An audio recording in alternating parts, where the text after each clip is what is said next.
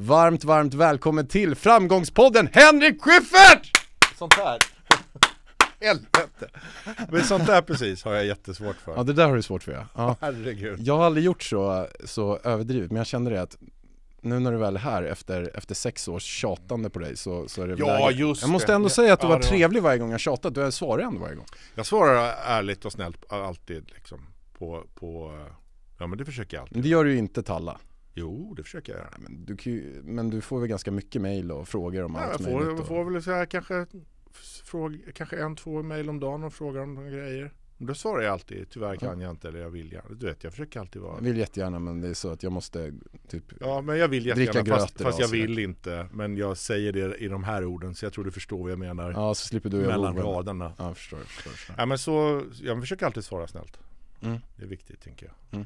Men du det är kul att, att verkligen ha dig med efter de här eh, sex års Ja, men tjatande har du tjatat i sex år? Jag kan inte minnas det. Är det så Nej inte illa? tjatar har vi inte gjort har men frågat vi, några frå- gånger. vi frågade några gånger Men de flesta gångerna har det inte...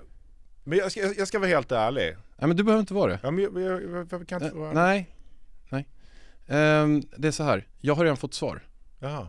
på varför Ja, Och jag tänkte att vi ska lyssna på det här okej. Men eh, först så vill jag ändå credda er för en fantastiska, fantastiska jingle här måste jag säga Jag, jag bara älskar den. den Den har jag, jag somnade till den igår Och inte för att jag lyssnade på den, för att den bara satt sig på hjärnan Börja med den, från er podd Mm. Och Henrik. Och Henrik. Och Henrik. Nospodd, illipodd. Och Henrik. Ja, fantastisk jingle Tack så mycket. Det är Nors brorsa som har gjort det. Mhm. Mm. Cred till honom Ja, ja. Men, men jag, jag fick ju svaret här, för jag undrat lite grann så här, nej men nu har jag ju frågat Henrik eh, ändå en, ett, ett dussin gånger och eh, då fick jag svaret då. Vi kan lyssna på det svaret som också kom upp i eran podd. Ja, Jag har blivit tillfrågad några gånger att vara med. Jag tror du också har blivit det. Nej, men jag, och, så, och så har jag alltid tackat nej till det där. Men, men jag, jag bara försökte rannsaka mig själv varför det här är så krångligt för mig. Men när man ska komma dit och så prata så här liksom om hur, hur bra det går och inspirera andra, då, då får jag liksom så här hela min kropp bara så här ryggar tillbaks. Jag blir liksom livrädd och det kan ju vara det som gör att jag liksom får eh, astmaattack utav det här liksom. Ja, där fick jag ju svaret. Ja. Man vill ju inte att du ska ha någon, få någon astmaattack. Nej. Nej, men det där är helt sant. Jag tycker, det, är, inget personligt mot dig alls. Eh, Jag tänker det du gör är, är jätte, du är jätteduktig på det här. Titta på hur du har det. Alltså, du har ju verkligen knäckt det. Du får hit alla och du är, du är jätte, jätteduktig. Men det här handlar bara om mig och mitt, mitt, det här är mitt problem. Men jag har väldigt svårt för folk som är positiva. Det tycker jag är jätteläskigt. Jag får så här frikyrkovibbar av det.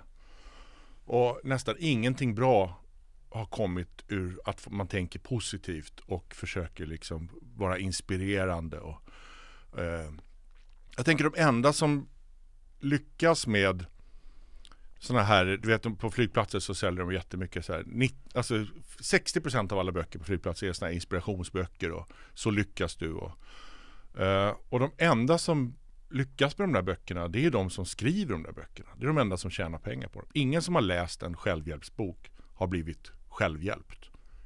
Tänker jag. Det här är allt det här, hela den här världen där det här, jag tänker att det här podden liksom ingår i den här världen. Jag tänker att det är Snake Oil. Alltså det är Dr. Lones liniment. Alltså man, man säger, som Dr. Lones liniment, det var någonting i Lucky Luke-böcker när man var liten. Men då åkte det runt en kille och sålde någon sån här flaska med något brunt innehåll och sa det här är liksom, det här hjälper mot allt. Det är artros och det är surbenet och skumsynthet och ehm, du vet eh, impoten- Älskar jämförelsen med impotens. framgångspodden. Snake oil! Det är Snake Oil. Och så, och så tänker man så här, men jag har ju, jag har ju artros. Jag, drick, jag dricker det här så hjälper det mig. Så här. Men det, det, det här med inspiration, det, det fungerar inte. Alltså inspiration är liksom Det är en fluga. Ingen blir, ingen, ingen blir hjälpt av, av, inspiration. Man tänker hela tiden så här att de om jag gör som de andra gör så blir jag som dem. Men så, så funkar det ju inte. Utan, och då försöker man då, då köper man någon så här någon inspirationsbok eller lyssnar på en inspirerande podd eller går på en inspirationsföreläsning eller något TED-talk eller något sånt där. Och så försöker man göra som dem och så börjar man, men det är sådana här saker som att Ja men du, jag såg på ditt Instagram för något halvår sedan att du skulle göra något grej, att du skulle bädda sängen varje morgon. Mm. Jag, jag skrattar ju så- Jag skrattar jättemycket åt det. För Jag tänkte så här, det kommer ju inte fungera. Det där kommer du göra några dagar och sen kommer du sluta göra det där. Så tänkte jag att det var. Hade jag rätt eller fel i det? Ja, Ja. Och så där är det med alla sådana här grejer. men, men det där är också, men jag får säga att just bädda sängen-utmaningen, den har ett eh, för det första så lägger jag ut de grejerna att man ska göra saker i sju dagar för att man ska testa att komma in i det. Ja. Men, men den har ett annat syfte. Den ja men det förstår jag. den har ett syf, syf, syfte att man ska börja Uh, liksom hela dagen, du jobbar ju också med listor, men uh, så här, hela dagen är ju saker man ska göra. Ja. Och då att man checkar av första grejen och klarar första grejen Ja, så ja, men jag förstår, jag förstår den psykologiska tanken i det, så här, sen- att du klarar av en uppgift och då är du igång med Och sen, uppgiftsavklarande. och sen vissa saker gör mig, alltså en rutin, eh, rutiner är ju, alltså, alltså det, eh, det finns ju många rutiner som man kanske gör så, alltså varje dag och andra rutiner gör man inte alls. Mm. Så att det är klart att, och det här med inspiration, den tycker jag är lite, jag tycker att det är lite märkligt att säga att all inspiration är skit för då, och tänk om man skulle ta bort all inspiration i hela världen. Det, det är ju som att ta bort Alltså, all, alltså du är en inspiration för andra komiker. jo, men, men jag tror ändå så här att om du, om du säger så här, du kan lyckas om du gör på det här sättet eller om du lyssnar på den här personen. Det, det kommer, i 99% av fallen kommer det inte fungera. Du kan alltid hitta ett fall där det kanske har fungerat. Men 99% Ja, men det är som på Naturhistoriska museet i Stockholm så finns det ett rådjur som har två huvuden. Det betyder inte att alla rådjur har två huvuden. Ibland dyker det upp ett rådjur med två huvuden. Jo, Och så, så tänker jag att det är med det här. Du kan säkert hitta någon sån där ett på tusen. Nej men så är det ju inte, men om jag började, när jag började jobba som säljare exempelvis när jag var 20 Så att, att då inspirerades jag av, det var vi 10 personer på min avdelning Mm. Och då inspirerades jag av Klaba som var den bästa och då lärde jag mig saker av honom som jag inspirerades av Jo, och Det jo. är klart att det hjälpte Det är, klart mig att det, det är klart att det hjälper. Men det, hela den här grejen, alltså man köper en bok där det står så här om du bäddar sängen varje morgon så kommer du komma igång och så kommer ditt liv att förändras. Det, det kommer inte att göra det, för du kommer inte att bädda sängen varje morgon. Det är som folk som köpte de här ab sale mattorna på tv-shop på 90-talet eller spikmattor eller man skulle köpa någon sån här någon boll som man skulle hålla på med så här. De här ligger i drösar hemma hos folk i garderober inslängda. Ingen, för man använder det inte. Och det är det som är problemet med de här inspirationsgrejerna, att man gör inte. Alltså du kan bli inspirerad av det, men sen nästa grej är att du ska verkligen ska göra det hela tiden. Där, där är problemet. Och då har jag, jag tänkte på det på, på vägen hit så här, var, var, nu måste jag ju liksom, jag måste ha något att komma med här. Men då tänker jag så här, varför, varför gör man det inte då? Säg så här, du ska starta, för det, jag tänker att allt det här handlar mycket om att starta och driva företag och liksom lyckas i affärsvärlden och sådana saker. Har du lyssnat på podden någon gång? Ja, jag har gjort någon gång. Eh, Vilket avsnitt då? då? Jag kommer inte ihåg. Men jag har lyssnat på det. Men det var, det... För jag menar, det är ju inte det det handlar om, som du Nej, säger nej men... Jag har ju ytterst få entreprenörer med varje år Okej. Det kanske du har rätt i. Men eh, när du ska göra ett stort, säg så här, att inspireras handlar om att du vill förändra ditt liv till någonting bättre. Så kan man säga va. Eh, och då så tänker jag så här att de, alla de här tricken man får i självhjälpsböcker eller poddar eller TED-talks de funkar inte för man, för man gör det inte. Och varför gör man det inte då? Och där finns det ett glapp, tänker jag. Jag gick, ehm, eh, jag, jag läste en jävligt bra grej, vilket var så här, vilken färg människan ser flest nyanser utav. Och det är färgen grönt. Och det kommer sig av att när du satt på savannen för tusentals år sedan och tittar ut över savannen så är allting grönt och då sitter du och spejar efter faror. Och då är det viktigt att ögon ser nyansskillnaden i grönt för där gömmer sig farorna. Så hjärnan är tränad att leta efter faror hela tiden och det är därför vi ser flest nyanser av färgen grönt. Och det är samma sak att när du sen bestämmer dig för att göra det här stora grejen du ska göra, skriva din roman eller spela in din LP eller starta ditt företag eller vad det nu är som ska bryta den här din monotona vanliga liv. Då tvekar du lite. Ska jag verkligen göra det här? Och exakt i den sekunden när du tvekar, då går alla larmsignaler i hjärnan och säger så här, här är en risk. Ska jag verkligen göra den här risken? Och då byggs den här risken ut och så slutar det oftast med att man inte gör det. För att man ser flest nyanser av grönt. Så därför blir de här grejerna, de blir aldrig av. Liksom. Och så, så tror jag att det är. Jag tror att om man skulle göra en riktig sån här podd som handlar om framgång. Då skulle den heta Så har du tur. Den skulle vara sann. För jag tror att 99% av alla som det går, går bra för eller som lyckas på något sätt i livet. 99% av det är ren jävla tur. Om du börjar med var du föds. Så det första så är det liksom, du måste födas i ett rikt land som inte är i krig. Så då då är liksom 90% av alla länder borta. Så redan där är det jättemycket tur.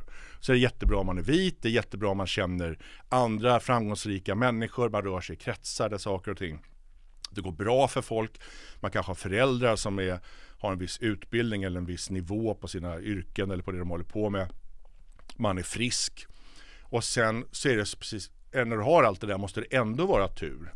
Att jag råkade liksom hamna på MTV när jag var 17 har inget att göra med att jag visste vad jag höll på med, att jag var duktig eller driven. Det är en ren jävla tur att jag råkade känna en gubbe som kände någon som kände där. Och så tänker jag att, att det, om man, om man då kokar ner alla den här gångerna man måste ha haft tur, så är det nere liksom på, du vet, en, en, en promille för att kunna lyckas. Ja men, ja, men alltså absolut, jag håller Så jag, ska du vara jag, helt ärlig skulle jag säga, så har du tur-podden. Så har du turpodden Den hade varit sanningsenlig. jag. Ja, nej men jag håller med dig om, om, äh, om mycket av det du säger. Uh, alltså en, ena grejen är varför inte saker sker är ju för att folk inte gör saker. Det är samma sak så här, alla köper gymkort i, i december till januari och sen eh, lovar sig alla att i nyårsluftet att alla ska träna och 95% har brutit det efter 20 dagar.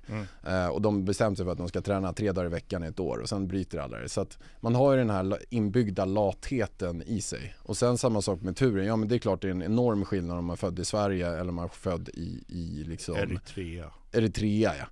Eh, så att det är klart det är ju en det är ju en enorm skillnad men för alla som är födda i Sverige så finns det och den här är ju dock nu på svenska då den är inte på eritreiska Nej, jag vågar inte heller gissa på vad språket är. Nej, Nej. men, men så, att, så att, och där finns det ju saker att man ska göra. Om man, om, om man lyssnar på det exakt det du säger och tänker sig att allt är bara tur och sen så känner man sig, ja men fan vad nice. Nu slänger jag på eh, tre extra avsnitt av, av Netflix och sen så ser jag Titanic fyra gånger i rad istället och hoppas på min tur. Så kommer den där turen med ytter, liksom noll sannolikhet att dyka upp om du inte har föräldrar som är svinrika och kommer råka skyffla över ett arv eller att du svarar på det där mejlet där det står så här Hello, I'm, I'm from, from Africa and you, you have one million in bitcoin Ja, tänk om eh, det... som, som dök ner för mig Nej men häromdagen. det är klart att det är så. Så, så, så att det handlar ju om att vara en doer, det handlar om att göra saker. Ja, men det handlar om att att, och, och, att, och, och att utsätta sig själv för möjligheten eh, för tur. Alltså ja, att, Det tror jag du har helt rätt i. Att utsätta sig själv, att sätta sig själv i, på en plats där tur kan dyka upp. Det tror jag är, det tror jag är sant. Att du måste liksom Men framförallt så tror jag så här att eh, att det, det, tur är den största, största, absolut största anledningen till att det går bra för vissa människor och dåligt för andra människor. Och sen tror jag en annan grej som är jätte, jätteviktig är, är kul. Att du råkar hålla på med någonting som du verkligen tycker är roligt. För, för det, det tror jag är en, och det är också lite tur att du råkar hamna där. Eller att du liksom har blivit så pass bra på det du tycker är kul att någon ser det, att det har ett värde och så liksom kan du få jobba med det. Eh, vilket är ju helt fantastiskt när det sker. ja, men, men de två grejerna tror jag, tror jag är viktiga. Men jag tror så här, det här med drivkraft och sen gå upp 05.30, meditera, gå ut i skogen. Eh, idag ska jag göra, man gör to-do-listor, de här ska jag ringa idag, det här ska jag pusha. Alltså förstå hur många människor som går runt och gör det här. Och anledningen till att det inte fungerar är också att man inte ser något resultat. Alltså om du ska bädda sängen varje morgon i en månads tid och så gör du det. Och när den månaden har gått så känner du, det är ingen skillnad alls i mitt liv. Jag, har inte, jag får inget resultat alls av att bädda sängen. Eller om du gör 100 armhävningar varje dag i en månad. Du kommer inte känna någon skillnad alltså, ja, du kanske kan göra 110 då. Men det här liksom att livet går från det här till liksom det här. Fa- Fast det är, inte det man lovar med Beressing heller, men, men ta, Nej, men ta alltså, exempel, du- för du- du pratar ju en sak pratar du emot dig själv, för att en annan, jag, jag har lyssnat och gjort, bra research på dig, jag har sex A4-sidor med frågor här. Okej, förlåt. Eh, så, så, att, så, så, att, så att jag har, men ta bara när du åkte ut till pizzerierna. När du Ja. åkte ut till pizzerierna och ställde dig där, det har jag i alla fall sagt, så kanske Jaha, du gör. jag gjorde stand-up Och grejer. då körde du stand-up, Ja, just det. 10 minuter för, alltså att lyckas med stand-up, Ja. alltså det, det är ingenting som man råkar ha tur att lyckas med. Nej, men det är måste hårt jäkla arbete och så som du gjorde också, att du flera dagar i veckan åkte ut till de här pizzerierna och stod och körde gratis gig på 10 minuter och bestämde dig för att verkligen göra det. Det är det som också har lett till att du har lyckats otroligt bra. Ja, men sen kan man också säga att, att liksom, var, var kom jag ifrån då? Då hade jag gjort tv 15 år på 90-talet innan. Jag hade ju jättemycket i ryggen, jag var ett känt namn och sen gjorde jag ju där, jag, jag gjorde, jag tror också så här, det är klart du måste jobba.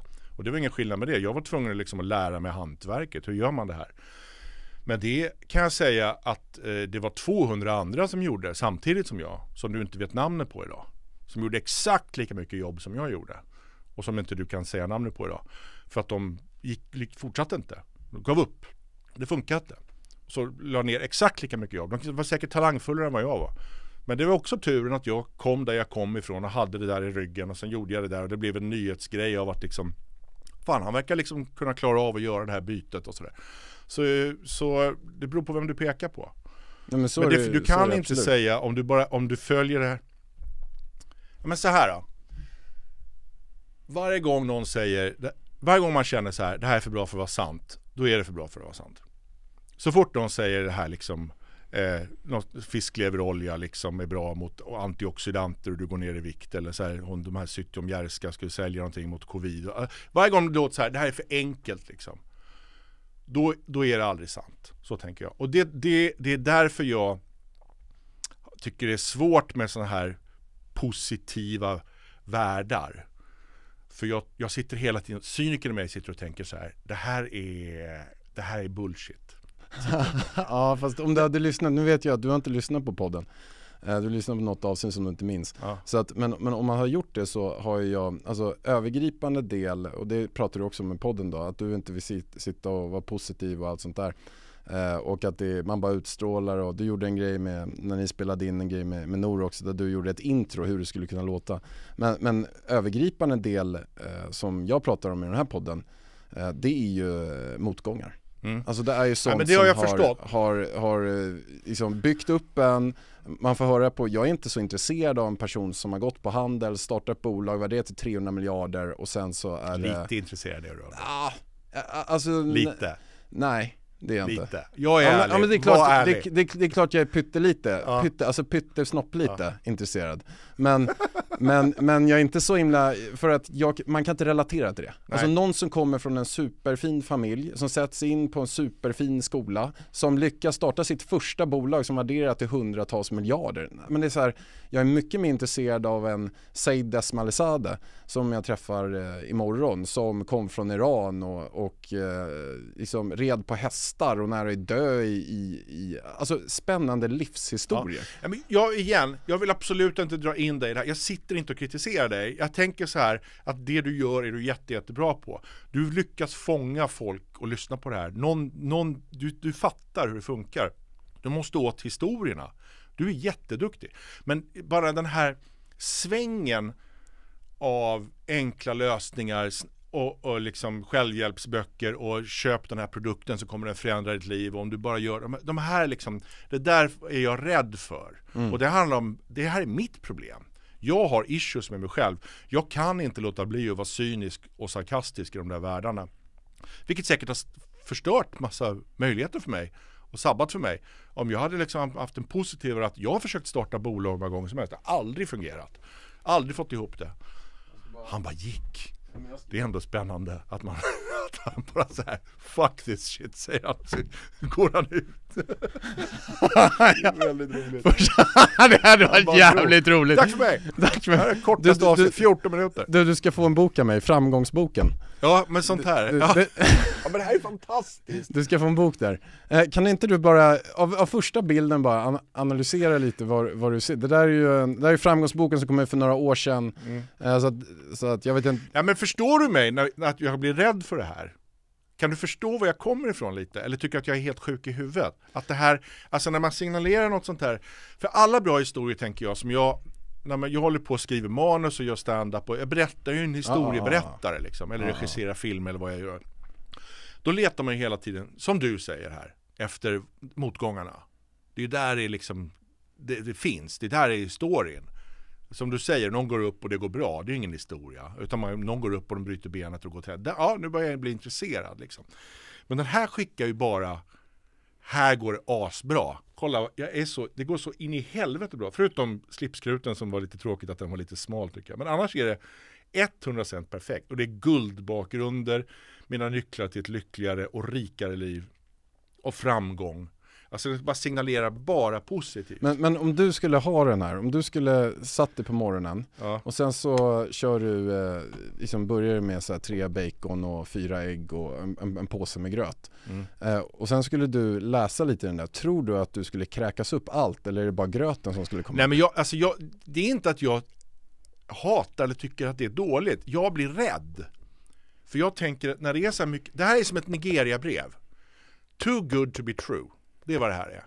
Du har, hej en avlägsen släkting till dig har dött och du har 4 miljoner bitcoins och hämta på ett konto i Schweiz. Skicka bara ditt, ditt, ditt ICA-kort till mig.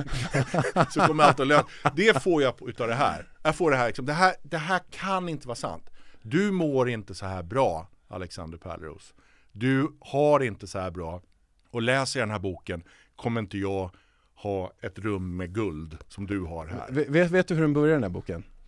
Ungefär. Nej, jag har ingen aning. Nej, den, den, det, det börjar med när jag berättar om när jag själv bodde på en, en eh, fosterfamilj, flyktingförläggning, min pappa försvann, ingen kontakt med min mamma. Så den börjar lite, Ja. lite intressant i alla fall. Ja, och jag tror att du har helt rätt i det igen. Som jag säger, du vet vad du håller på med. Du är duktig på det här. Du kan det här jättebra. Och det är så klart, så ska man börja det. Och, och jag tror säkert att jag, liksom om jag satte mig in i det här du håller på med på riktigt, så, så, så har du liksom, du vet ju vad fan du håller på med. Du är ju bra på det här. Men jag bara säger den här, när, när, det, när de här signalerna skickas, så eh, det handlar om mig. Jag blir rädd. Precis som att det kommer fram någon Hare Krishna på flygplatsen och säger vill, vill du träffa Jesus liksom. Då blir jag så här, oj, så här bra kan det inte vara liksom. Eh, och det är väl olika hur man funkar. Men jag är liksom byggd av små svarta kompakta block av cynism och, och sarkasm. Det, det är liksom, jag är som Katla. Och jag blev också rädd för en sak. Du, du behöver inte ge tillbaka boken. Ja, jag, jag har fått den. Du får två, vi kan gå igenom dem sen. Ja, det här är också läsa. någonting som skulle passa dig tror jag, eller passa, inte bara dig, det passar ju alla. Självklart. Ehm, eh, 52 veckor med utmanande, eh, utvecklande utmaningar. Så då har du alltså en utmaning per vecka du ska göra Henrik. Ja, Och, och jag ska, du skulle kunna läsa bara lite här men en som du kanske, eh, jag, kan, jag kan ge igenom en här kanske. Ehm, eh, ät varje måltid med medveten närvaro. Ja det är bra. Ja, eh, är, en, är sida 44 här, onanera mera. Mm. Eh, är det något som kanske skulle passa? Nej, inte längre, men, men för några år sedan. Nej. Eh, gå upp eh, klockan fem varje morgon, det var, du är öppen 4.40 idag. 4.45 i morse. 4.45, så du, du checkar ju redan eh, många av de här. Ja. Ja, men det, det, är ju, det, är ju också, det finns ju också någonting som är, det här blir ju väldigt roligt tänker jag. Alltså du skrattar ju själv lite när du läser det, men jag undrar om du liksom gjorde det när du, när du skrev det? Eh, nej men jag, alltså det är ju, det handlar ju om, alltså, alltså det handlar ju om så här. Tycker du att det här är, kan Nej, du se att jag tycker att det här är lite roligt? Nej, nej, men, nej men jag förstår det, att du kan tycka att det, att det är roligt. Eh, men det som, eh, eh, det, som är, det som handlar ju om så här, det är ju, nej men vad gör man av, Alltså någonstans börjar allting med, med vad tänker man? Vad har man för inställning till livet? Vad har man för inställning till det här mötet, till den här dagen, till det här man ska göra? Och sen går det över till handlingen, vad är det man har gjort? Och någonstans så bygger ju varje dag ens liv. Ja. Så att det är därför som att en, en liten rutin kan betyda mycket för sitt välmående. Hur väljer man att, varför är, varför, sen handlar det inte om att äm, du ska köpa tre Ferraris det kan vara att den här personen som är dykare i Thailand har ett mycket lyckligare liv och mår mycket bättre i slutändan. För egentligen slutändan av allting så kan ju livet vara ganska meningslöst. ja. Ah, Det, det ah. tänker jag att det är. A- Alltså allt kan vara ganska meningslöst. För att även om jorden skulle sprängas så, så, så kommer liksom inte universum bli så besviken och även om allt går fler med klimatet så kommer jorden, nej men då kommer det bli så att kackerlackorna kommer överleva, råttorna kommer överleva och då kanske de ser tillbaka som att dinosaurierna försvann. Att, men det var väl bra att de här människorna försvann så att det är superintelligenta kackerlackor på jorden om så här 100 miljoner år. Ja. Eh, så att, eh, och då är, handlar det mer om så att, nej men vad väljer jag att göra med min resa? Vilka väljer jag att ha mig, liksom, hur väljer jag att må på den här värdelösa resan som jag har? Jag tror bara att 99% av jordens befolkning aldrig har tid att stanna och tänka den tanken. Jag tror att de bara försöker liksom komma upp i tid, få ung, mat i ungarna och sen komma iväg till jobbet och stå vid stansen den dagen och sen tänka så här, fan om jag hinner liksom, det vore kul om jag hinner liksom spela på travet på vägen hem och sen hem och eh, iväg på någon fotbollsträning och sen somna och han inte tvätta. Och sen är det nästa dag. Så att jag tänker att så är det för de flesta. Och det här liksom stanna upp och tänk eh, vad, vad jag har för rutiner och behov. De bara, liksom, rutiner och behov. Jag måste iväg till liksom stansen. Det är mina rutiner Jo, jo men tänk om, om man skulle då få en sån liten tanke så tänker man så här, men vad är det jag gillar att göra för någonting? Ja men jag gillar att dansa. Bra men då tre gånger i veckan så går jag och dansar. Ja. Och då kanske det är den grejen som lyfter deras liv ganska mycket. Att de gör det här, det här lilla som, som blev en, en stor grej. Att de dansar när de var unga I så teorin grann. så har du rätt. I praktiken så kommer det inte att hända. Så tänker jag att det är. Jag tror att det och det- så, så funkar jag. Att jag tänker liksom så här. Det är jättemånga som, jag har blivit inbjuden på så här konstiga middagar på stora slott och herresäten och så tänker de så här vad kul och det är, bjuder, vi bjuder hit någon komiker. Och det är liksom det värsta de kan göra. För vi sitter längst bak och bara suckar och himlar med ögonen och säger vad är det här för skit? Det här kommer jag aldrig, du vet. Och bara säger liksom sanningar. Så här, vi är noll inspirerande, noll roliga. Så här. Men där, där, för så, och så är min grundinställning. När du säger det här, börja dansa tre dagar i veckan. Det enda jag tänker, det kommer inte hända. Ingen, de kommer gå och dansa två gånger så kommer de inte hinna och sen så skiter Ja men du har ju varit fokus på träning. Där har du kört på hårt. Nej men alltså som du, alltså ibland av och ibland på. Ja. Men alltså jag är ju också en, en helt annan värld där jag kan ha en hel dag helt ledig. Det har inte de här människorna jag pratar om. Så jag tror så här, igen, det handlar om mig. Jag, när du säger så här så tänker jag bara så här, det blir aldrig av. Nej.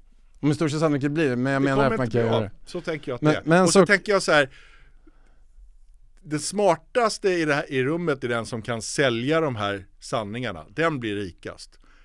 Lyssna på dem och applicera dem i sitt eget liv. Det kommer inte funka. Så tänker jag att det är. Mm, förstår, förstår. Ska du verkligen liksom lyckas så ta ett jobb som förklarar för andra hur man lyckas. Det tror jag är ett väl, det är en ganska safe bet. För folk vill höra det där. Folk vill liksom titta på Kardashians och folk vill liksom tänka att det finns en, en quick fix i livet. Det, alltså, vi vi vill åt den enkla lösningen hela, hela tiden. Vi jagar det.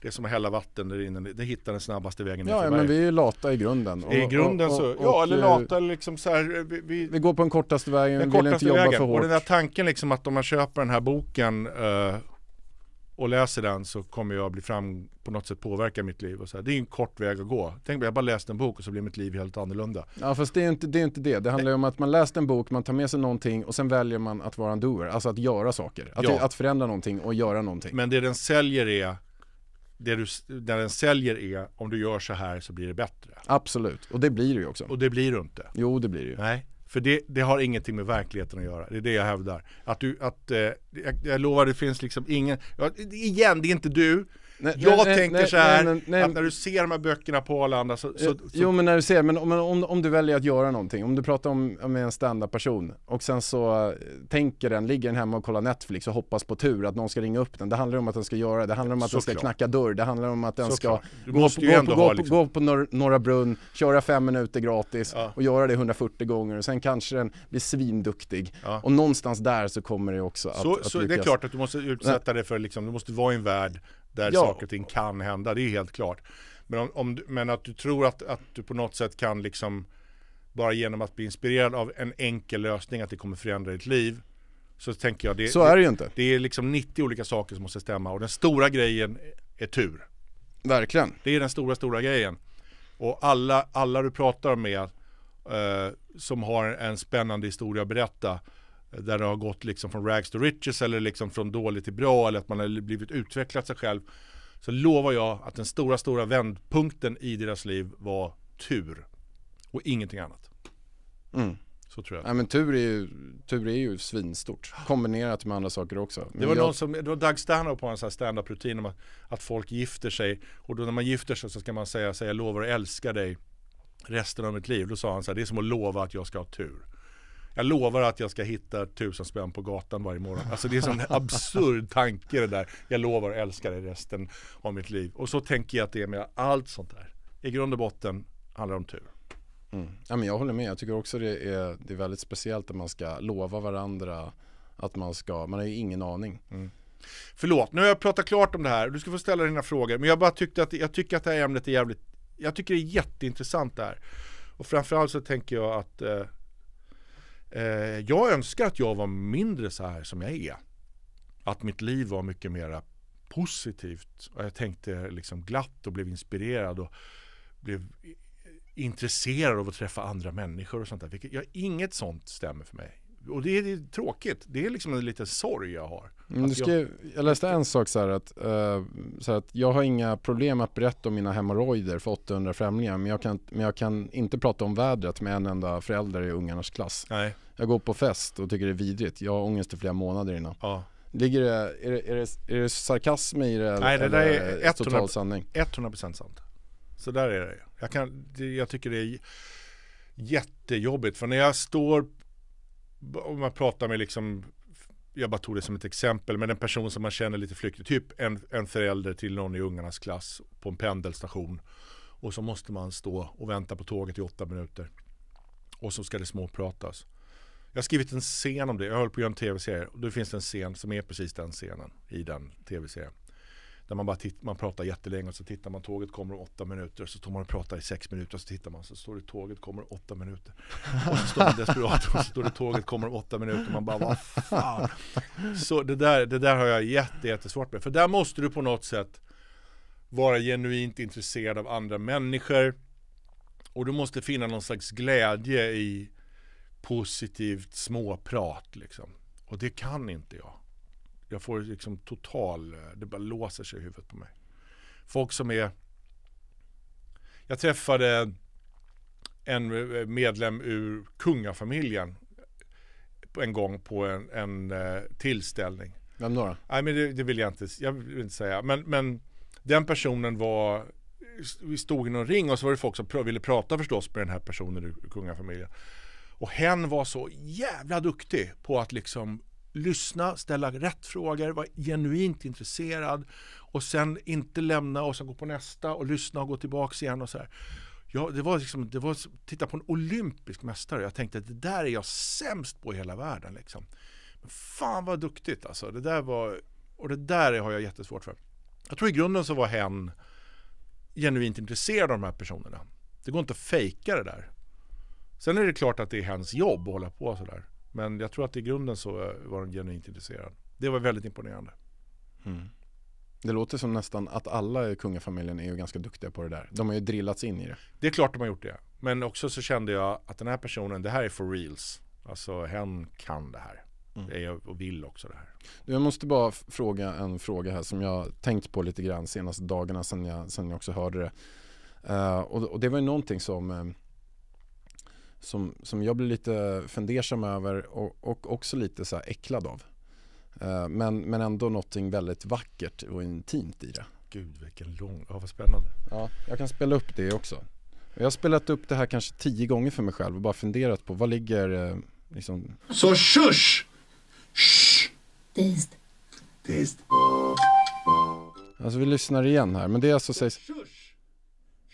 Och nu kommer det. Tyst. Tyst. Det är nog så här att ni säger det här Dizd, dizd. Ah, Tyst. Tyst. är, är är det någon sån här grej som ni två har ihop? Att det är så här gull, gull, gull, Nej. fnull, fnull eller? Nej, vi härmar Nors mamma. Det är hon, hon, hon, det, det, det är hon, hon har en sån där arabisk inställning.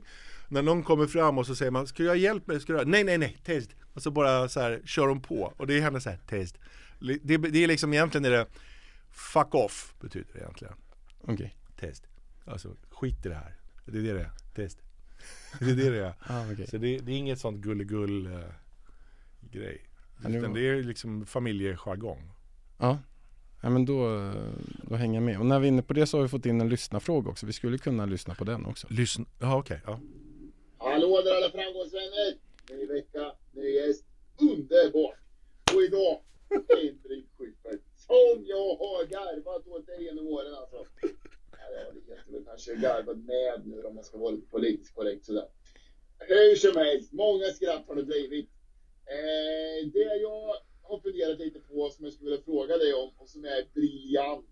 Eh, ja, eller det är väl bra, jag kanske inte ska säga för mycket nu när det går ut i etern då, men det är ju det här med att du, eh, du och din tjej Nor har ju ändå en liten annorlunda lösning när ni fick barn där och att eh, ni är särbos. Det är inte, det är inte normen om man nu får säga så.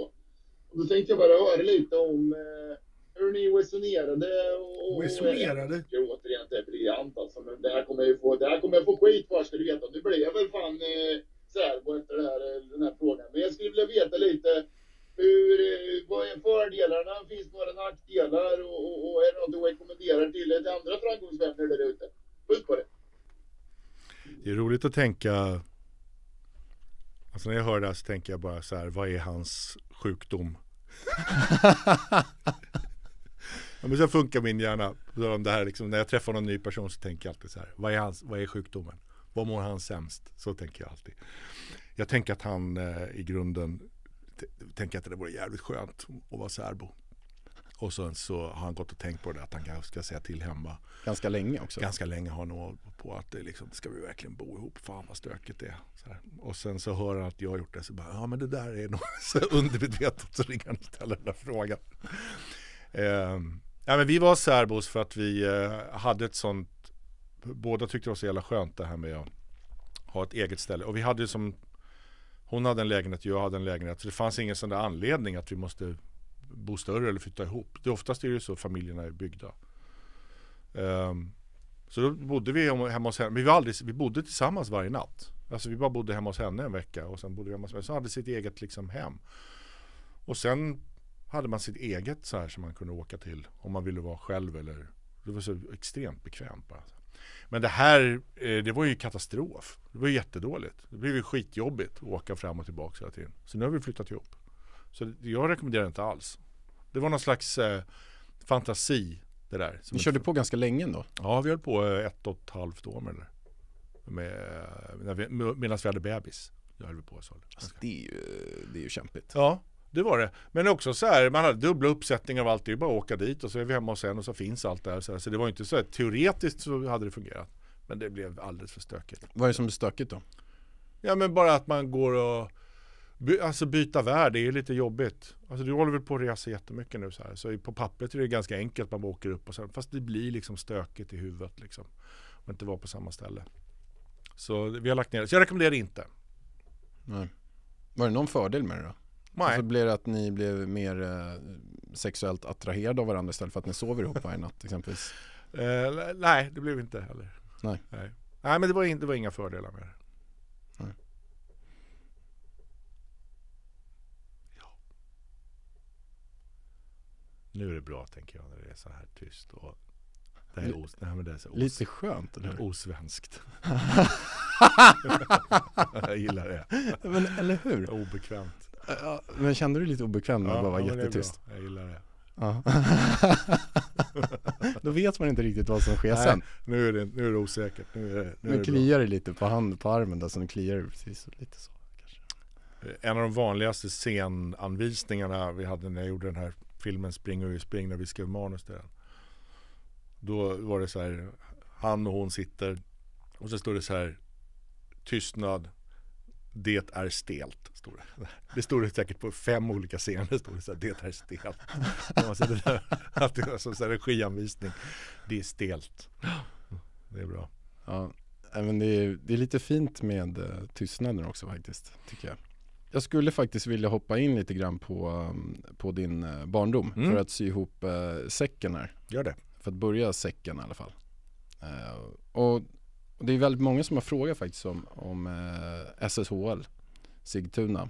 Just det. Jättemånga som har ställt en fråga faktiskt när jag, när jag skrev ut. Och sen så du är född i, född i Ronneby men uppväxt i Sigtuna. Nej, det stämmer inte. Jag är född i Ronneby och där flyttade jag från när jag var två år gammal. Och sen bodde jag eh, i, i, i stan vid eh, på Gärdet i något år. Sen flyttade vi ut till Rosersberg. Som ligger då mellan Upplands Väsby och Märsta på pendellinjen norrut. Eh, och där gick jag då hela min grundskola. Gick jag i Rosersberg och bodde i Rosersberg. Som är ett litet 2000 invånare, lite så här trevåningshus och enplans eh, radhus och sånt där. Och sen när jag började i högskolan gymnasiet, högstadiet gymnasiet, då, då pendlade vi till Märsta. För det fanns inga sådana skolor där. Så med buss. Och då så, och Märsta låg då i samma kommun, det gör Rosersberg också, men låg liksom i sikt, som Sigtuna. Så Märsta, Sig- Märsta gymnasiet och Sigtuna eh, hum, humanistiska var i samma kommun. Så därav kom det. Och då gick du på den skolan? Nej, jag gick på Märsta gymnasiet. Du gick på Märsta? Ja. Men vi hade då gemensamma eh, friluftsdagar och gemensamma, för det är samma kommun. Så liksom kommunen så här, så man, man hade med dem att göra. Man var på fester på sikte och de kom till oss och sådär. Det gjorde de helst inte. Men sådär. Och det var liksom grundtanken till det här zebrarummet som jag tänker det är därför de folk frågar den här frågan. Ehm, som är en tv-serie som går nu på Viaplay. Som jag har hittat på grundidén till. Jag har inte skrivit den tv-serien, jag har inte regisserat den. Jag har, inget, jag har inte valt skådisar eller skrivit dialoger eller. Men jag hittade på den här idén med två skolor som ligger bredvid varandra. I, och så tänkte jag att det var en fin bild av klass-Sverige. Som det är extremt stora klasskillnader i Sverige idag. Så tänker jag att det var en mini, en minibild av, av det. Eh, så det var liksom tanken med det. Mm. Någonting som jag läste också om det var att du Det kändes som att du kände dig lite utanför som liten. Mm. Stod och väntade på, vä, vä, väntade på dina vänner när de spelar handboll och, Ja, och kände att, att du inte hade någon så här, eh, liksom, så här eh, tillhörighet. Nej, det stämmer. Ja, ja, det, det var väldigt mycket sport där jag växte upp. Alla höll på. Det var liksom så alla samlades. Och, alla, och det var de alternativen som erbjöds att det var sport. Jag var liksom inte minsta sportintresserad. Och höll på jättemycket på med musik. Och det fanns inte så här musik eller någon fritidsgård man höll på med instrument eller replokaler eller så här. Det fanns inte. Utan så fort skolan var slut så åkte alla iväg på sina handbolls och fotbolls och hockeyträningar. Och när man inte var, ville hålla på med det så hamnade jag.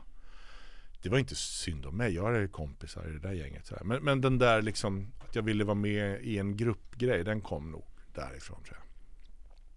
Det pratar jag om i den här 90s föreställningen tror jag. Att det hänger ihop med det här att man vill vara med i en grupp och om man inte får med en grupp så kan man alltid starta en grupp. För att då blir man automatiskt medlem i den. För att det var jag som startade den. Mm. Men var det någonting som påverkade dig mycket? Ja det tror jag. Mentalt tror jag att eh, mycket av mitt liv har handlat om att jag vill vara med. Tror jag. Eh, och det, det är också, också zebrarummets historien handlar om det. Att det här liksom att det finns en krets, en inre krets där man vill, man vill vara med i. Kosta vad det kosta vill och sådär. Så jag tror att om man silar allt skit jag gjort genom det filtret så kan man nog hitta ett mönster. Det tror jag nog. Kom det så här mycket bekräftelsebehov från det också? Nej, det där vet jag inte för jag, var det kommer ifrån. jag, jag, jag tänker mig att, att, att jobba med det du gör och fortfarande tycker, tycker det är kul. Mm. Då är man ju en, en person som söker extremt mycket bekräftelse. Ja, men det stämmer inte. Eh, så var det nog till att börja med tror jag. Men nu är det roliga med det är själva sudokut kring det. Det är det roliga. Den lösningen, hur får man det här, hur hänger den historien ihop med den historien? Alltså det här liksom tredimensionella liksom pusslet som det är att hitta på en historia. Och det kan vara en standup-rutin eller en långfilm eller en tv eller vad det nu än är. Men det är det roliga. Sitta med smarta, roliga människor och försöka knäcka de här grejerna. Det är det som gör att man går upp på morgonen. Det tycker jag är jätte, jätteroligt. Och sen allt det andra, det kommer ju liksom Ja, det är en biprodukt, tänker jag. Så jag gör ju inte Jag sitter inte och jobbar dygnet runt med olika manus för att jag tänker att om sex månader får jag bekräftelse för det här. Det funkar ju inte.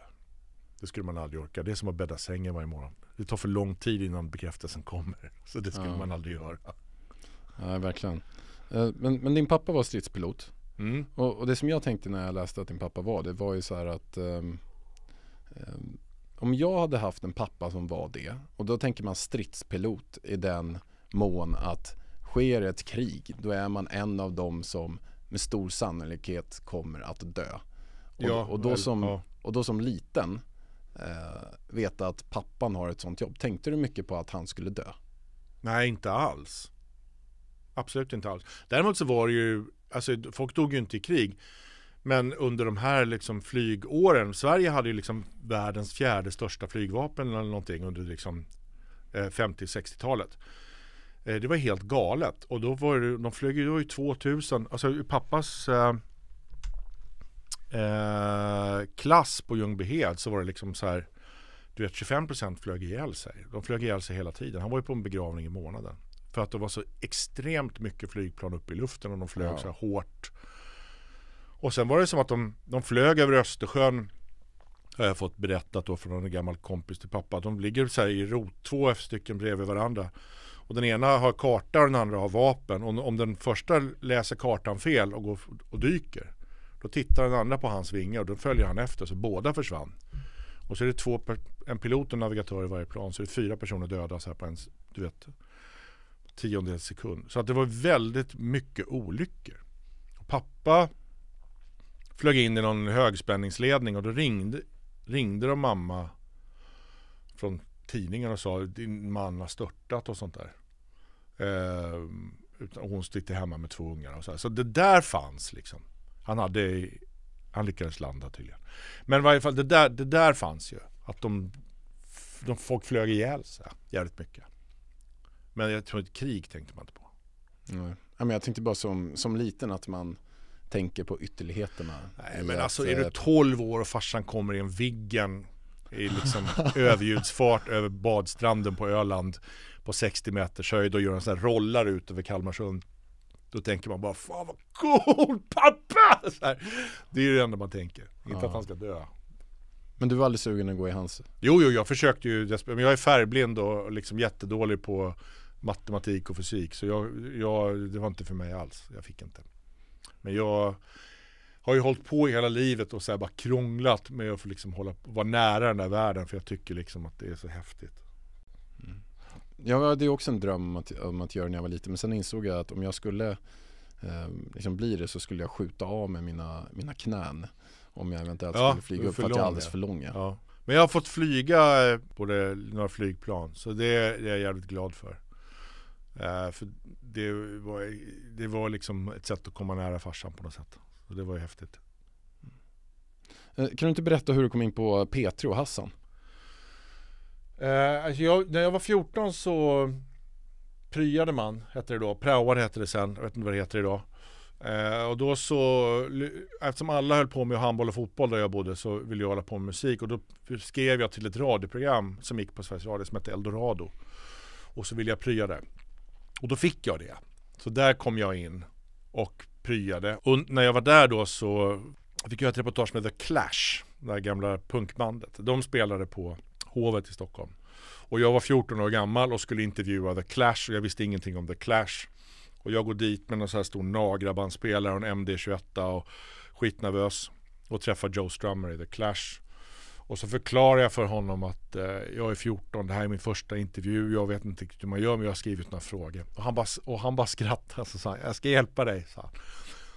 Och så gick han igenom frågan det här, det här och så svarade han så brukar de vilja höra det här och så sa han det och så berättade han det här. Och så ska du få den här sa han också. Och så sjöng han eh, Bank Robber som är en Clash-låt.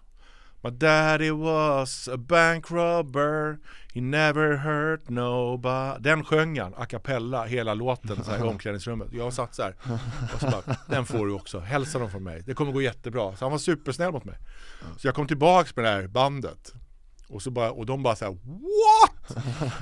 De var helt lyriska. De hade väntat sig att jag skulle komma tillbaks med två, fyra svar, snabba svar, ja och nej frågor Så fick jag liksom 20 minuter med han berättade olika historier och sjöng den här låten så då fick jag liksom jobb där På tal om tur Att det är det som gör det Um, Och sen så jobbade jag på Sveriges Radio Efter det, samtidigt som jag gick i skolan Så jag var liksom inne på, på radio Um, ehm, Hassan-grejen kom ju långt, långt senare. Det var ju liksom Då hade jag varit jobbat på MTV och, och Jo, men hon som var chef där var fortfarande chef så hon sa att jag skulle göra ett radioprogram.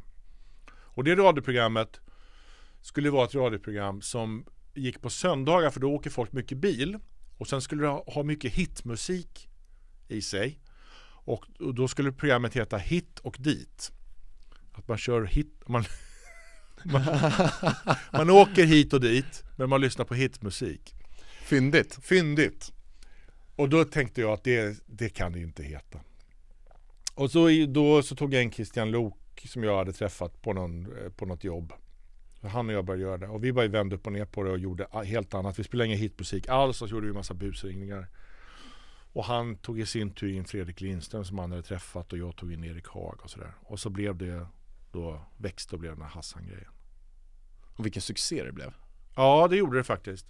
Vi, det är liksom vi, vi, De släppte ju några CD-skivor på det där som sålde liksom trippelguld. De blev jätte, det blev jätte, jättestort. Det var helt bananas.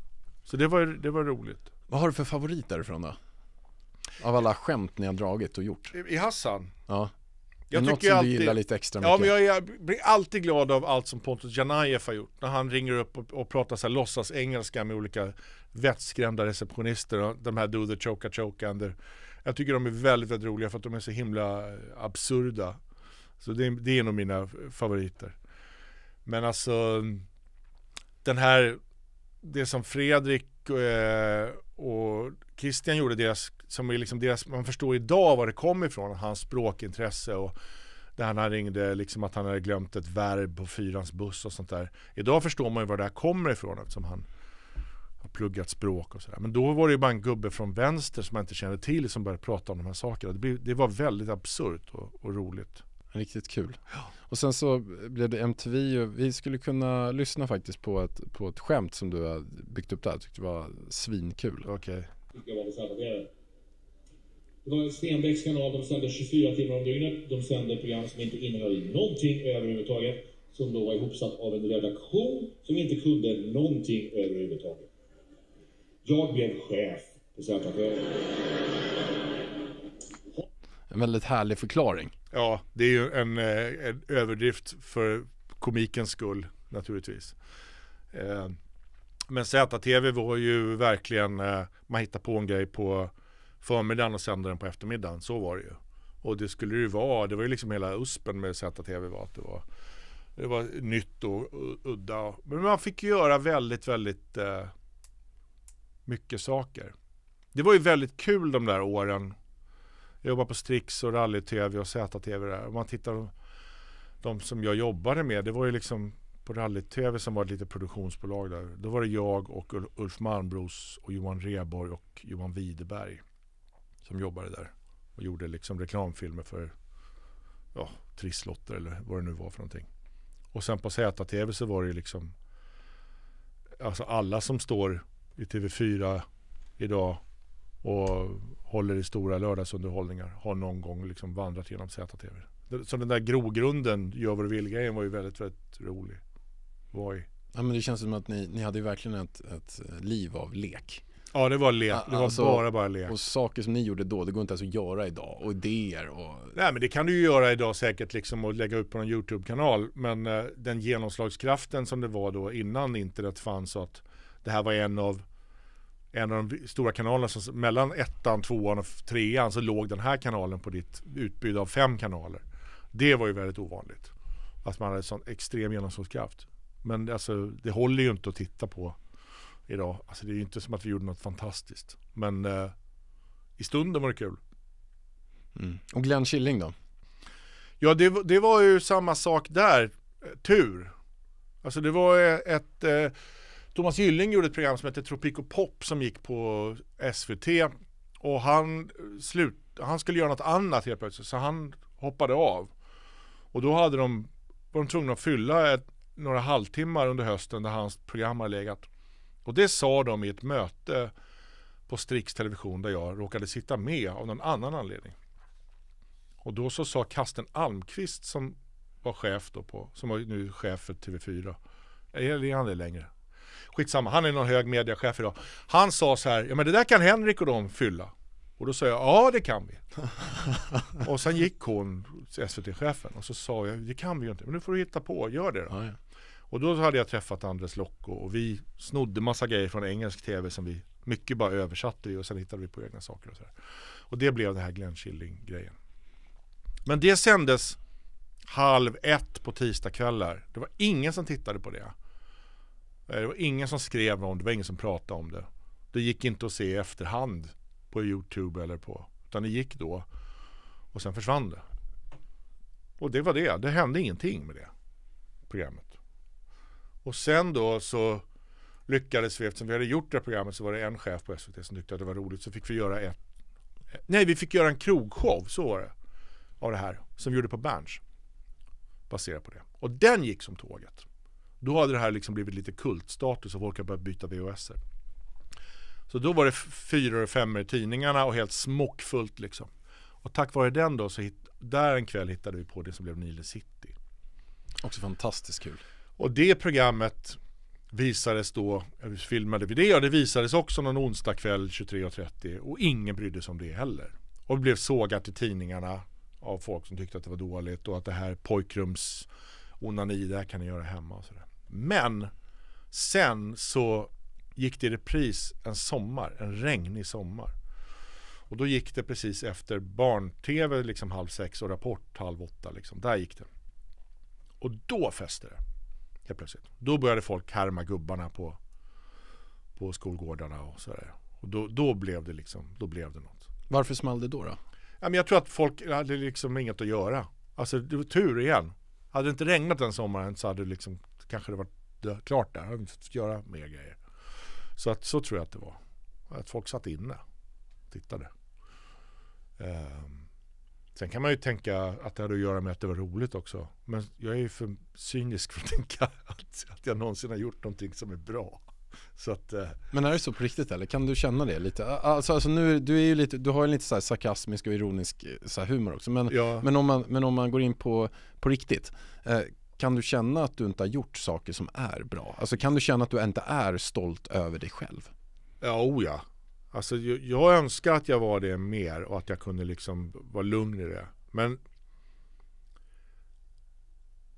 eh, jag tror det var Conan, jag intervjuade Conan O'Brien en gång för någon grej.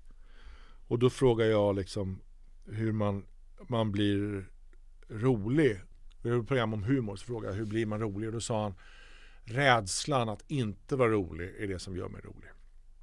Och det kände jag igen mig jättemycket i. Att jag är livrädd att inte lyckas med det. Och därför så lägger jag så pass mycket arbete i att lyckas med det.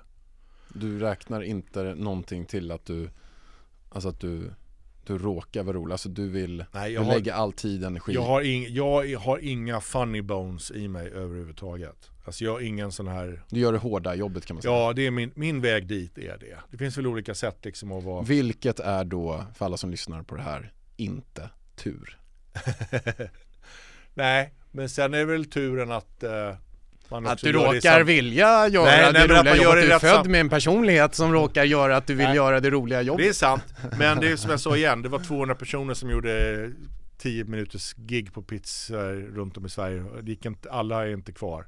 Så att det har med, det, det har med båda sakerna. Några döda eller? Också. Några är döda.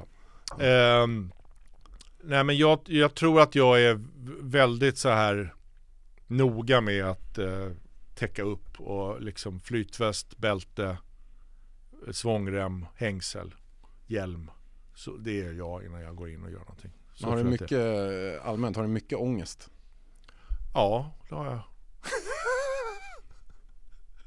jag blir väldigt avundsjuk på folk som verkar vara helt ångestfria. Som bara så här, Men det, men det är väl typ inga som är? jo då, oh ja. Men jag, jag tror att såna här eh,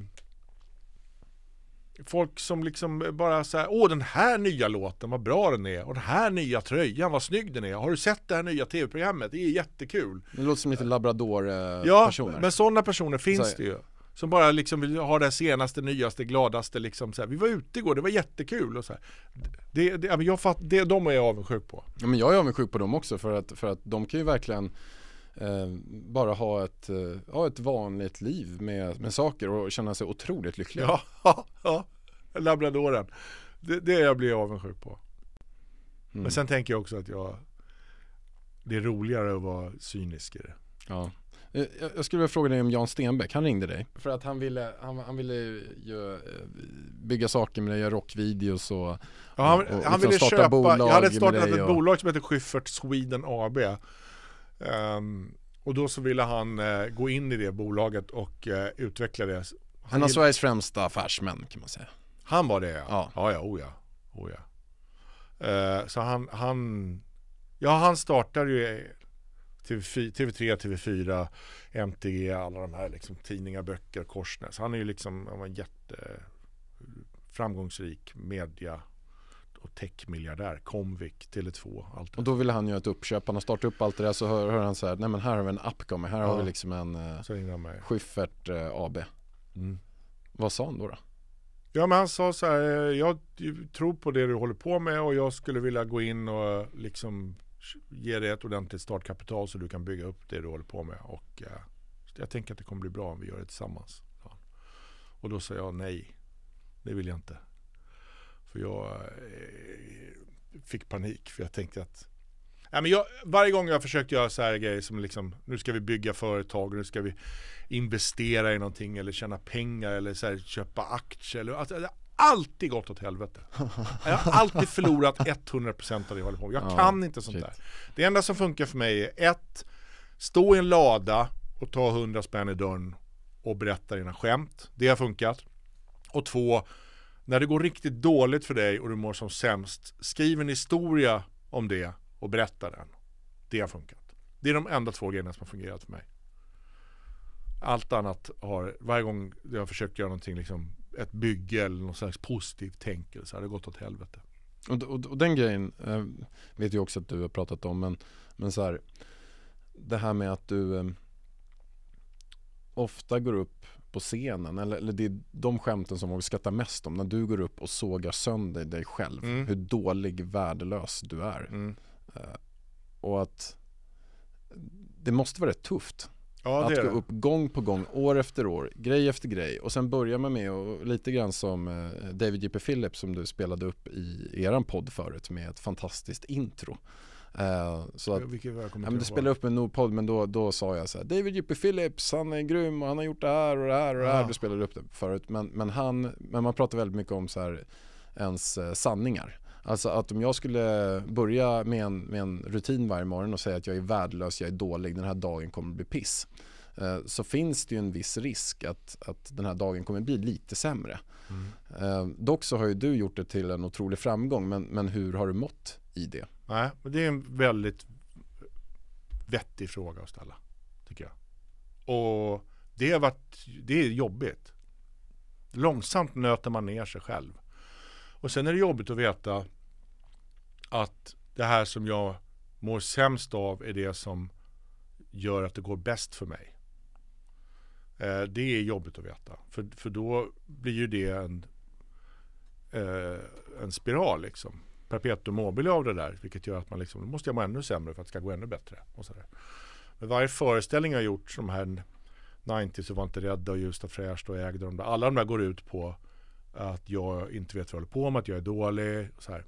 Och står man och säger det 200 gånger på raken och kväll efter kväll efter kväll. Till slut så blir det ju någon slags sanning i det där. Och så sitter jag här också och så först jag pratar om att jag har problem, det är mitt issue och sådär. För jag vet att det är en väg in i mig. För den som lyssnar på mig, är det en väg att komma in i mig och förstå liksom att ja, ja okej, han Ja men det var ju som du började den här boken med att berätta om din, din resa hit Mm. och din flykt, alltså allt det där liksom. Det är ett sätt att öppna upp och visa så här, jag är sårbar, jag är inte bättre än er. Så här. Det är väl så det är och det är därför, därför, gör man, därför börjar alla böcker så här, alla sommarprat har det där i sig eller allt sånt. Föreläsningar eller Allt- vad som helst. Man börjar med att trycka ner sig själv för att måste trycka sen, ner sig själv. för alla som sitter med armbågarna i kors. Precis, Och, och få tänka så här, oj den här personen är på, är på riktigt. Det är, väl, det är väl så det är. Men det kostar väldigt mycket att göra det. Det är liksom dyrt för självkänslan. Men jag tänker, jag tycker så här, om man har satt, om man tänker på Edvard Blom så här som har lagt alla äggen i hatten att jag är liksom stor och fryntlig och äter jättemycket mat och dricker jättemycket öl och så här. Alltså han vet och vi vet att om 20-30 år kommer det där bli ett problem. Om man lever sådär. Det fattar ju alla. Eh, men det är också det som ger honom den här framgången just nu. Det är därför folk vill ha honom. För han, han är på det där sättet och inte är så här. Jag går upp och gör yoga och mediterar och gör liksom bäddar sängen och gör tusen armhävningar.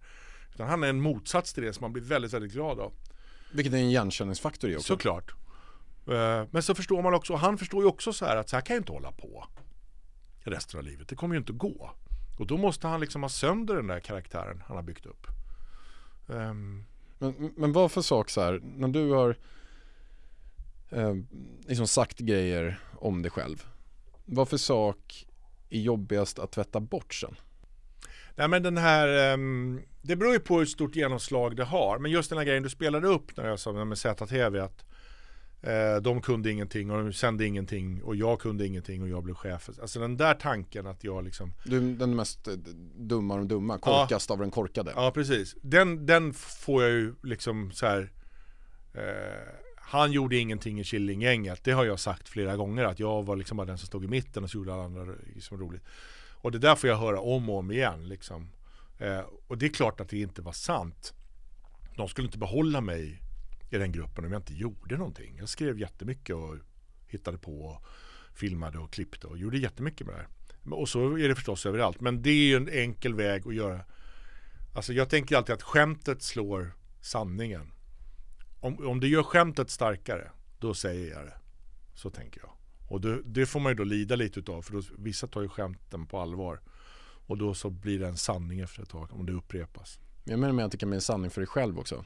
Att det kan bli så här att du Ah, fast nej, det, så är det inte. Jag vet att, vad jag har gjort. Så Ja, så- men jag så tänker om du säger att du är dålig på vissa saker och sen rätt vad det kommer i en annan situation och sen har du sagt det 200 gånger att du är dålig på något så kan du få den här, även fast du vet om det så kan du få den här känslan av att nej men jag är fan dålig på det, men var kommer Nej. den ifrån? Nej, Nej, men, men jag har är ju kört det, nej, Så är det inte. Du vet att du är bra liksom. Ja, jag, jag, jag har liksom gjort det för länge.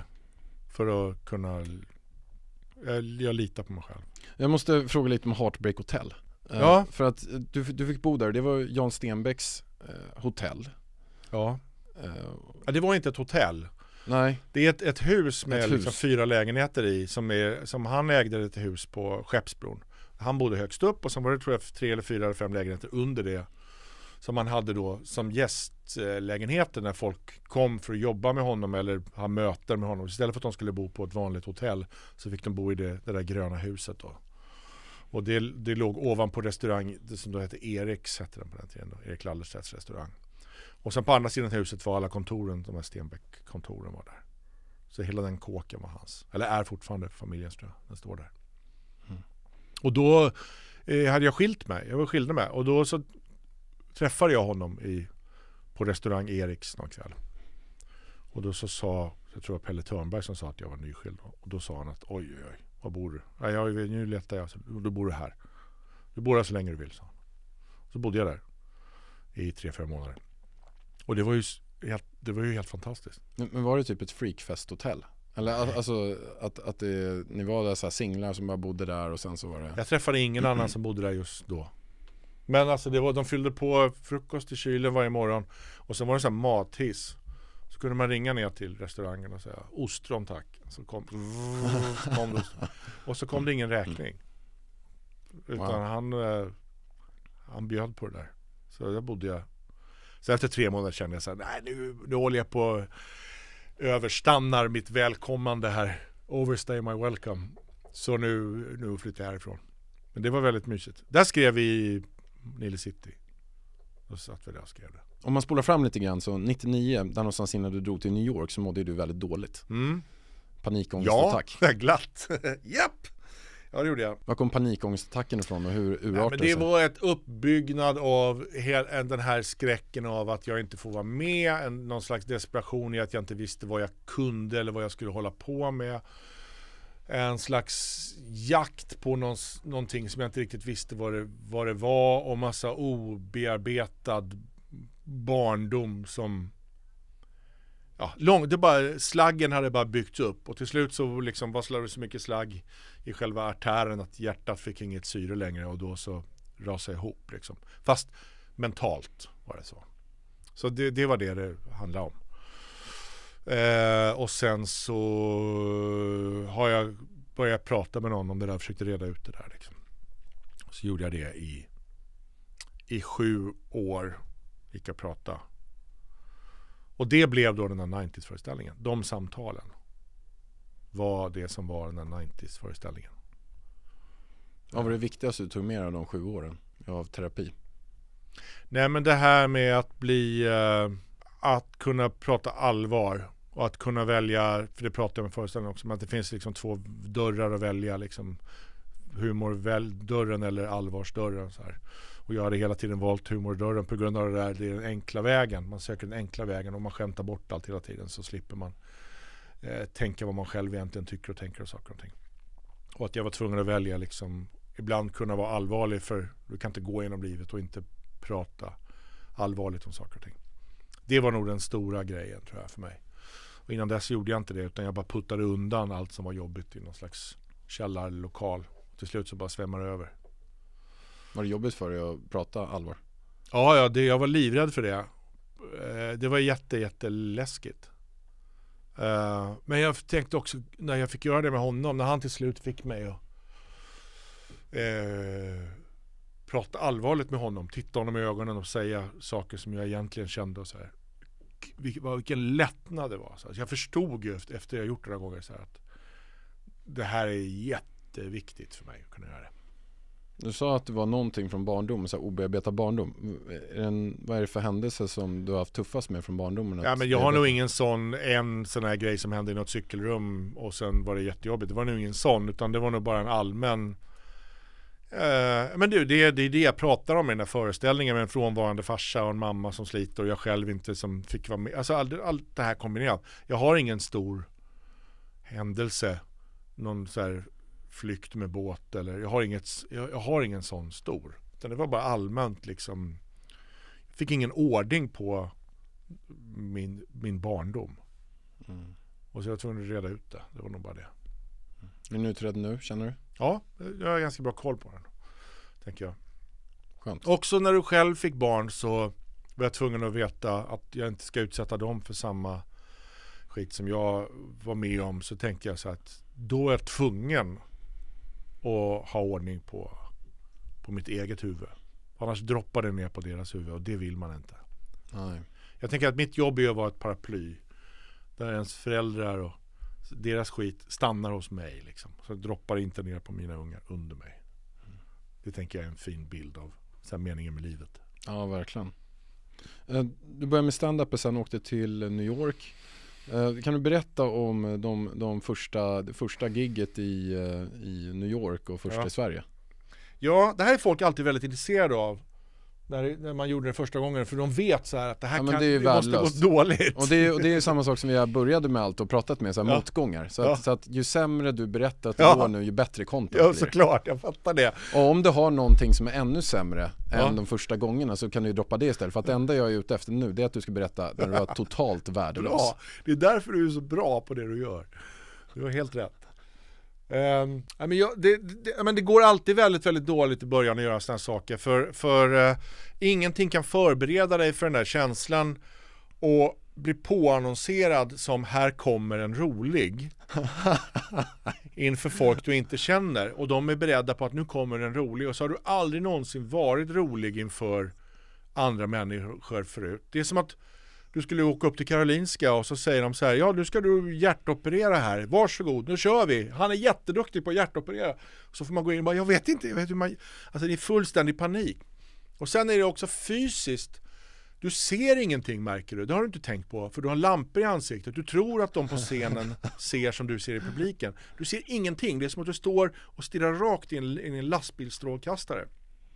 Det låter också jättekonstigt, för när du pratar i mikrofonen så hör du själv med ett millisekunds eko och eh, det, det, du, du är inte alls den personen du trodde du skulle vara när du står där uppe. Jag får ångest Och sen, det. sen så måste du också komma ihåg den här, de här skämten som du har hittat på.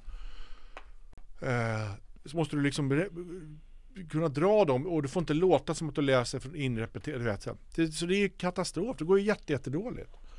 Jag rökte, kommer jag ihåg, en, det var på den tiden jag rökte, men innan jag gick upp på scenen, jag var så nervös, jag rökte liksom en cigg innan utanför. Det här var i New York då, första gången, det var första gången jag någonsin stod på en scen. Eh, och så rökte jag upp den här, så hör jag så här kling, hör jag. När jag tappar den i marken så det är som jag tappat glas. Och då har jag alltså rökt den baklänges och rökt filtret som har smält och blivit en stenhård liten plastbit. För jag, jag märkte inte det. För jag var så här, jag var så fruktansvärt nervös. Så det, det är hemskt. Det, det går jättedåligt. Det går jättedåligt för alla första gången. Så, så är det. Men det man måste komma ihåg är så här, här måste man vara labrador. Att du måste bara så här, okej en gång till. Så här, som att det inte har hänt liksom. Man slänger bollen så här, ja hämta den så slänger jag, "Ja, hämta den igen. Så här. Och slänger man, ja hämta den igen. Så, så måste du vara. Bara göra om och göra om. Fast, Och få- fast folk står med neddragna brallor och urinerar på dig Folk samtidigt som du på hämtar. så här, Fast, du fortfarande hämtar den här pinnen. Ja, och så måste du ändå hämta den. Så, men, vad- det rinner kiss på mig, skit i det. Ja men det var, jag var helt sjuk i huvudet. Men sen var jag också desperat. Jag hade liksom inget jobb. Så jag var tvungen att jobba. Det här var liksom min enda väg ut. Och liksom lära mig det där på riktigt. Så att det var därför jag... Och sen tyckte jag Jag tyckte väldigt mycket om det här eh, sudokun i det. Lösa skämt. Det tyckte jag fortfarande var väldigt, väldigt roligt. Och försöka liksom komma på varför är det här roligare än det här. Den, allt det där har alltid intresserat mig jättemycket. Så det tyckte jag var kul. Eh, men stå på, det var ju helt vansinnigt jobbigt alltså. Men så är det.